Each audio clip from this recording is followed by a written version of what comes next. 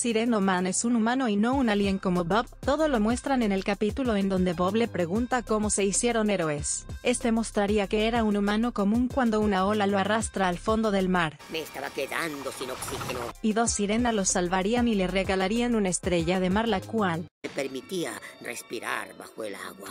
se sentiría mal por ser el único humano en fondo de bikini, hasta que un barco llega y un joven chico limpiaba dentro del agua, y pensó que se ahogaría.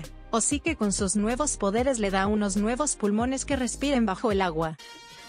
Y este se quedaría con él toda la vida ya que no hay otro humano en fondo de bikini aunque Sireno Man siempre se llevaría el crédito. Puede agradecérmelo. Soy Sirenoman.